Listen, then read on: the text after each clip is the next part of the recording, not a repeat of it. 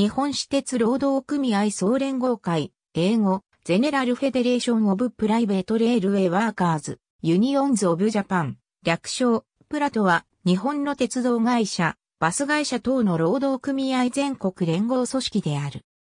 JR グループ等を除く、大手私鉄をはじめとした日本の鉄道会社、タクシー、ハイヤー会社、バス会社の社内労働組合などが加盟しており、旧総評経営の流れを組んでいる。日本労働組合総連合会、全日本交通運輸産業労働組合協議会、国際運輸労連に加盟している。1947年1月10日に69組合10万4人が参加して大阪で結成された。北海道、東北、関東、北陸、中部、関西、中国、四国、九州の9つの地方連合会がある。沖縄とハイヤータクシー専業の組合について本部自家加盟になっている。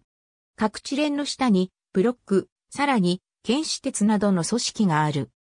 JR グループ各社の労働組合、国や地方公共団体出資の第三セクター鉄道会社の労働組合及び公営交通事業を行っている地方公共団体交通部門の労働組合は加盟していない。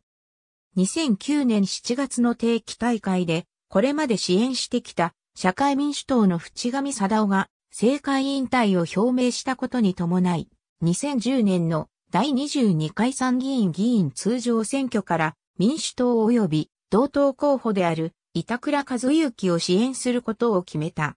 板倉はこの参議院選挙で落選したが、2011年に函館市議に復帰した。なお、一部は社会民主党支持を打ち出している。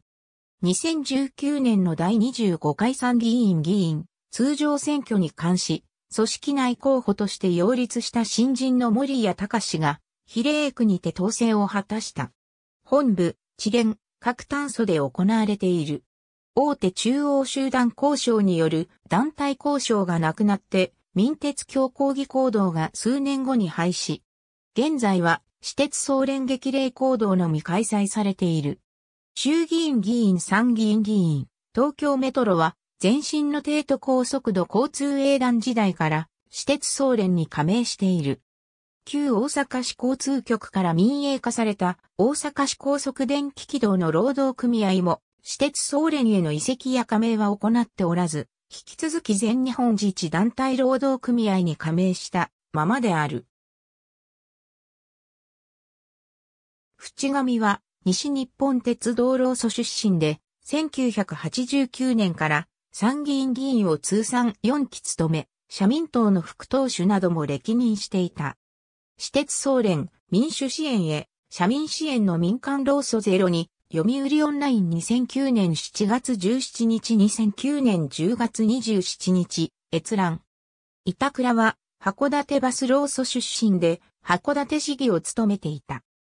私鉄総連、立憲民主党から、擁立次期参院選の組織内候補。西日本新聞。